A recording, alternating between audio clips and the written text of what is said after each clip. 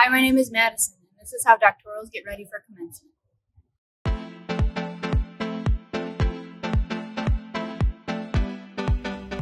First, make sure to zip up your robe in the front.